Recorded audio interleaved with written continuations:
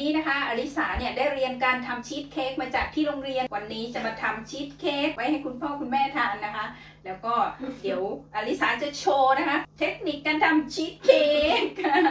ชีสเค้กครั้งแรกของอลิสานะคะอะเริ่มจากอะไร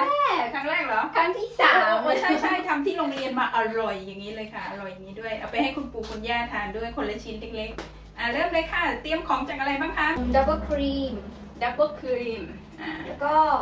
มีโชว์โชว์ยี่ห้อหน่อย double cream เผื่อตัวเขาอยากนี้อ่าโอเคแล้วก็มีครีมชีสอ่าครีมชีส มีน้ำตาล อ๋อ น้ำตาลนะคะเขาเตรียมไว้แล้วน้ำเตรียมตาลไว้แล้ว น้ำตาลธรรมดานะคะ อันนี้ก็เป็นบิสกิตที่ทำให้มันละเอียดแล้วนะคะ เอายี่ห้ออะไรก็ได้ไม่จำเป็นต้อ๋องอเป็อันนนี้ก็คือขนมปังนะคะ ขนมปังประมาณนี้นะคะ ขนมปังกรอบ แรก ๆ มันเป็นอย่างนี้ใช่ไหมคะเขาก็จะเอามาทุบๆๆของเขาอะนะคะ ให้มันเป็นละเอียดอะแล้วก็มีอะไรมีอีกคะเนยอืมเนยสามารถเอาเป็นเนยจืดหรือว่าเนยเค็มก็ได้นะคะ อันนี้อลิสาใช้เนยอะไร เค็ม เนยเค็ม แล้วก็มีของตกแต่งก็คือสตรอเบอรี่กับเลมอนที่เราหั่นไว้แล้วสตรอเบอรี่ยังไม่หั่นคุณแม่ก็จะให้กำลังใจดื่มกาแฟไปนะคะ เพราะว่าทำไม่เป็น แล้ววันนี้ก็คล้ายๆนูเทลล่านะคะ แต่ว่าวันนี้จะทำเป็นช็อกโกแลตชีสเค้กอืมอธิบายนิดนึง อันนี้ก็คือเนื้อช็อกโกแลตช็อกโกแลตนะคะ ที่เขาจะทำเป็นละเอียดอย่างนี้ไว้เลย อันนี้เป็นถาดใส่นะคะ ภาชนะอันนี้อาจจะเป็น อาจจะเป็นบล็อกหลาย ๆ แบบที่เราต้องการใช่ไหมลูก ใช่ แล้วแต่แต่เขาจะใช้แล้วแต่วงกลมขนาด นะคะแล้วเขาจะใช้วงกลมนะคะ วันนี้ ของพร้อมทำยังไงทีนี้ อันดับแรกนะคะแล้วก็ทุบบิสกิตไว้เรียบร้อยแล้วนะคะ ให้มันละเอียดแล้วก็เอาเนยไปละลายค่ะ แล้วก็ใส่ลงไปเลยตอนนี้เขาก็จะละลายเนยนะคะ ใส่อ๋อลืมบอกว่าเนยอะใช้เนยนะคะ ใช้ 75 กรัมนะคะ ใช้เนย 75 กรัมอะเอามาละลายใส่ความร้อน ส่วนบิสกิตนะคะ 150 กรัมนะคะ อ๋อ เนย 75 กรัมนะคะ เขาจะมีเครื่องชั่งของเขาสำหรับภาชนะขนาดเท่านั้นนะคะ เขาก็จะใช้เท่าเท่าจานใบเล็กอะค่ะ ไฟใช้ความร้อนเท่าไหร่คะ ใช้ขนาดปานกลาง แต่ว่าถ้าใครอยากเพิ่มไฟก็ได้เพื่อให้มันอันนั้นเร็วไม่รู้แต่ว่าอย่าให้มันไหม้ก็พออ๋อก็คือให้ใช้ละคลาวยามร้แล้อวนก็พอโอ้แค่แค่ไม่ไม่ซีเรียสนะคะ แค่ให้ละลายอะไรแล้วเอาบิสกิตมา คลุกเคล้าให้เข้ากันกับเนยแบบนี้นะคะ อืมคนจนมันแห้งหรือว่าเป็นทรายแบบนี้คะ อันนี้ อ๋อ อันนี่เลยแบบนี้แห้งแล้ว ใช้ได้ยัง ใช้ได้แล้ว ก็รอนิดนึงหรือใครจะเอาใส่ถาดเลยก็ได้ รอให้เย็นเหรอ ใช่ อ๋อ รอให้เย็นก่อนนะคะ เอ๊ะทำอะไรต่อคะทำครีมค่ะ ปั่นครีมเรานะมีคะเครื่องปั่นแบบนี้นะคะ หรือว่าใครจะใช้เป็นเครื่องปั่นมืออัตโนมัติก็ได้ อันดับแรกอยากจะใส่ อันนี้ใช้ 250 กรัมนะคะ ตัวนี้นะคะมี 180 กรัมอยู่แล้วนะคะ อันนี้ก็ช่างเหลือ 45 นะคะ คือเขาทำกล่องมาพอดีแล้วนะคะสำหรับทำครั้งหนึงเขาใช้ 2 กล่องเพราะว่ามัน 250 แต่กล่องหนึงมี 180 เราปั่นให้เขาแตกนิดนึงก่อนแล้วเราค่อยเอาอะไรลงไปอีก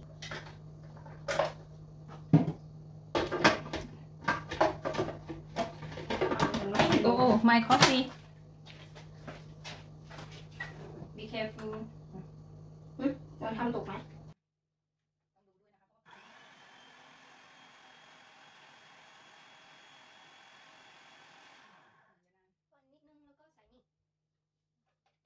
โยเกิร์ตเหรอคล้ายๆโยไม่เกิใช่ร์ตไม่ใช่โยเกิร์ต อ๋อ อะไรนะคะเรียกวิปปิ้งครีมเอออันนี้ 125 กรัมครีมชีสใช้เป็นโลแฟตไม่ได้นะคะ เพราะว่าถ้าใช้เป็นโลแฟตเหมือนครูจะบอกว่ามันจะไม่แข็งมันจะดรอปลง อันนี้ใช้125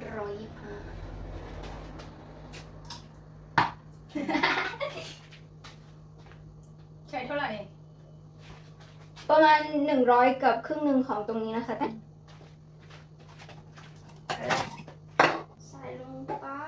ใส่น้ำตาลน้ำตาล50กรัม น้ำตาลก็ประมาณนี้นะคะ50กรัม ใส่ป้องกันเลยเหรอลูก ไม่รู้ลืมแล้วว่าทำยังไง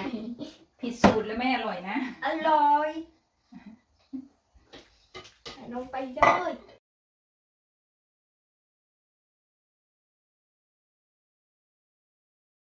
อ้าวมันเหลวจังอะใช้อันนี้อ๋อเหลือน้อยแล้ว ใครกินก็ไม่รู้ นี่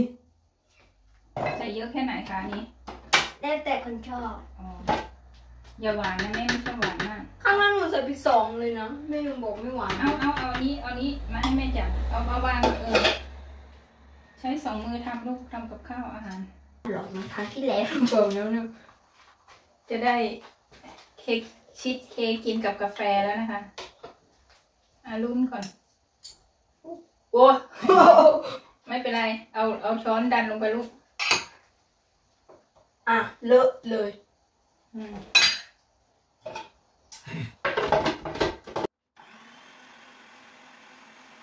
เวลาคลุกอย่าเอาหน้าไปใกล้นะขี้มูกหล่นลง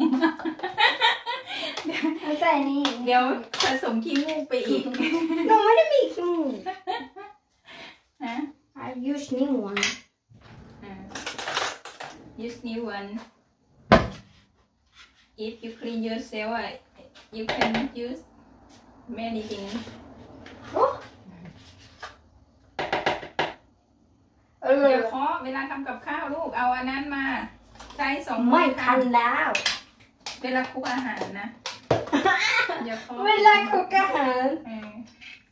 ก็จะสับสนกับภาษาไปแล้วนะไม่รู้พูดอะไรบ้างอะรสชาติเหมือนตอนแรกที่หนูทำเลย น่าจะอร่อยใช่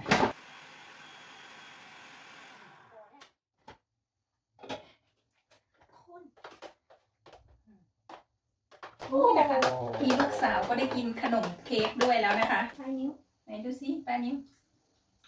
อืมอืมอร่อย หนูชอบทำขนมใช่ไหมเออทำเลยทำอะไรก็ได้ที่มันเป็นพิเศษโอ้ความสามารถพิเศษทำเลยลูก แล้วเราก็เอาตัวที่เราทำไว้แบบนี้นะคะลงไป ยิ่งดีแม่ก็ไม่ต้องซื้อเค้กกินอ่า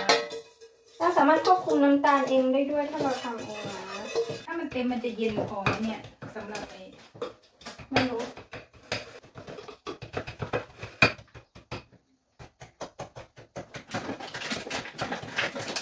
แล้วก็กดกดกดกดกดลงไปนะคะแบบนี้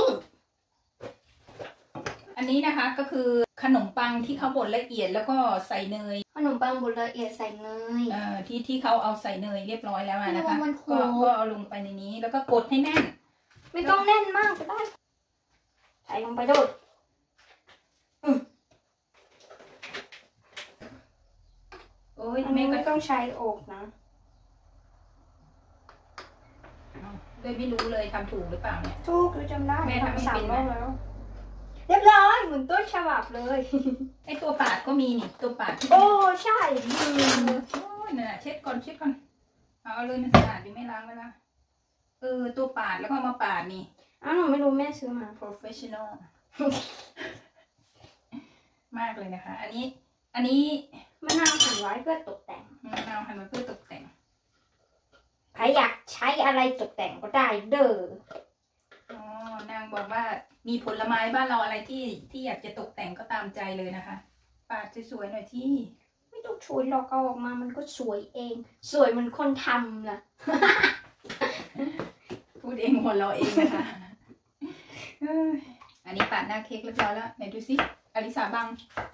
นี่ปาดหน้าเค้กเรียบร้อยแล้วอะตอนนี้เขากำลังจะตกแต่งหน้าเค้ก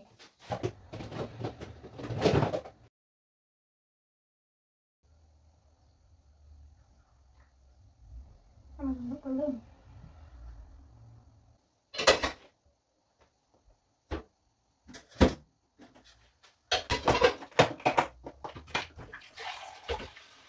เรียบร้อย ไหน เสร็จหรือยัง เสร็จแล้วอู้อาโชตีน่ากิน เดี๋ยวรอกินนะคะ อันนี้จะแช่แช่ไว้สี่ตู้เย็นชั่วโมง สี่ชั่วโมงสี่ชั่วโมงเดี๋ยวเราก็ตอนนี้จะทานเป็นเวลา 13สี่มากกว่าเจ็ดกินได้ตอน17นาฬิกาอ๋อค่ะ เดี๋ยวจะทานกาแฟ drinking coffee อีกรอบนะคะ กับเค้กอืมอันนี้ก็เป็นอันว่าเสร็จเรียบร้อยคุณแม่เตรียมตู้เย็นไว้ให้แล้วนะ สำหรับวันนี้อลิสาได้พาทำชีสเค้กเรียบร้อยแล้วนะคะสำหรับเพื่อนๆอลิสาคนไหนที่อยากจะทำนะคะ ฝึกทำตามอลิสาแบบเล่นๆไปนะคะ ไม่ซีเรียสนะคะทำกินกันที่บ้านก็คือเราสามารถควบคุมความหวานได้ด้วยนะคะ ก็วันนี้อลิสาอยากจะบอกอะไรเพื่อนๆไหมคะก็อย่าลืมกดไลค์ กดแชร์ กด subscribe ให้อลิซา Extreme นะคะ ครั้งหน้าเราจะพาไปเที่ยวหรือพาไปทำอะไรใหม่ ๆ นะคะ สามารถบอกเพื่อนที่อยู่อังกฤษได้ไหมว่ายังไงบ้างอ่า If my friends in UK watch my YouTube, don't forget like, share, and subscribe for me.